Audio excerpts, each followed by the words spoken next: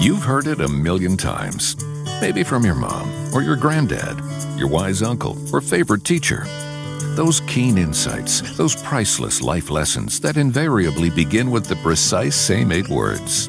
If I knew then what I know now, you can fill in the rest.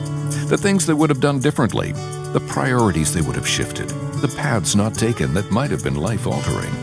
You've listened and you've learned. When it comes to financial security and well being, we too have listened and learned. In fact, we've heard enough inspiring tales to write a book. It's filled with stories from advisors and Sun Life customers whose shared wisdom can help make life brighter for you and your loved ones. We call it the Book of Sundays.